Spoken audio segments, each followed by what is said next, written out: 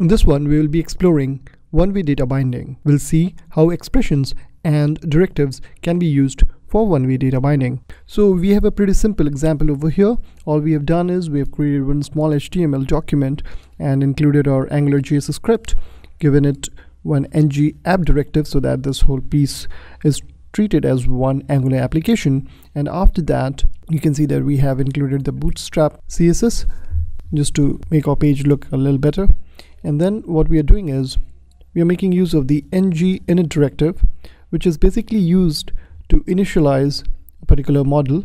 So over here we are creating one small model called person with first name and last name attributes. So all we are doing over here is making use of expression for one-way data binding. We are writing person dot first name over here.